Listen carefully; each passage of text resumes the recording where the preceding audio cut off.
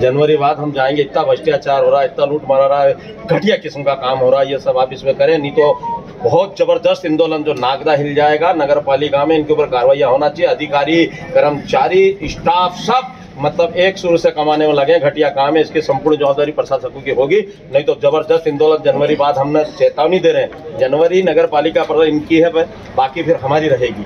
इसके बाद आप इस पर थोड़ा ध्यान दें, हमारा आपसे आगे सर, एक निवेदन हो कोई भी हो उसको फ़ोन लगाते हैं तो संतुष्टिपूर्ण जवाब नहीं देता।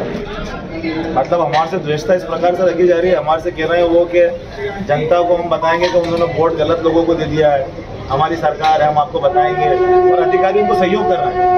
मतलब डेढ़ डेढ़ महीने हो जाते हैं सर सड़क कामों के लिए बोले तो मतलब कहीं डगा लटक रही है तो लटक ही रही है, कहीं उनको लाइट के लिए बोलो तो चल रही, बंद है तो बंद ही है, कुत्तों के लिए बोलो, उनको आवारा कुत्तों के, परसों के दिन अभी आपके सामने वहाँ पे वो समद खान साहब के उसमें वार्ड में, केबिन में लोगों को काट लिया कुत्ते ने।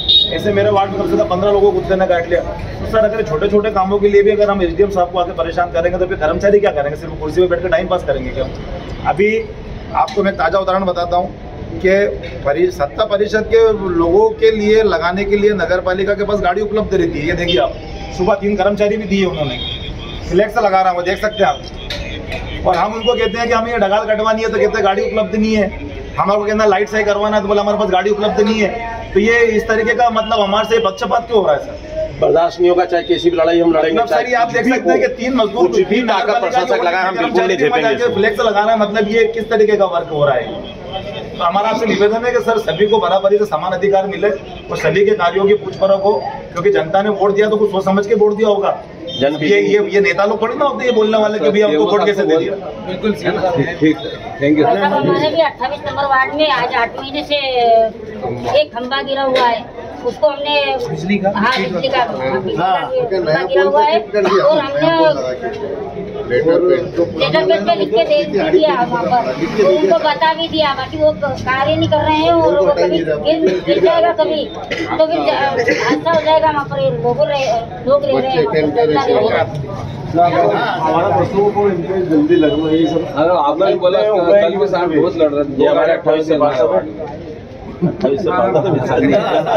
इन्होंने सबको भी दे दिया जनवरी इनकी है फरवरी इसकी। देखो तो हम तो जनवरी बाद में जाएँगे भी बिल्कुल ऐसा भी हमको करना नहीं हाँ आप लोग भी जनता की ही बात जी जी। हाँ, हमारे स्वार्थ का तो है नहीं। ये रोड की या पानी की जनता अभी ये भी काम बंद है पिछले तीन दिन पुराना काम।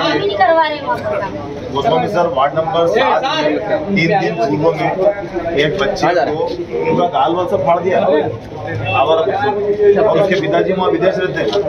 और फ़ोन लगाने के बाद हम लोग वहाँ गए तो उसके बाद कम से कम 25 से 30 कुत्ते वार्ड में मौजूद थे। तो हमारा ये निवेदन है कि ठीक है हम ये नहीं कह रहे हैं कि वो वो भी बेजुबान जानवर है लेकिन अगर बेजुबान जानवर इंसानों पर इस तरीके से हमला करेंगे तो फिर आमजन कैसे रहेगा शहर में? थोड़ा कोई व्यवस्था करें आप। जी सर। Thank you sir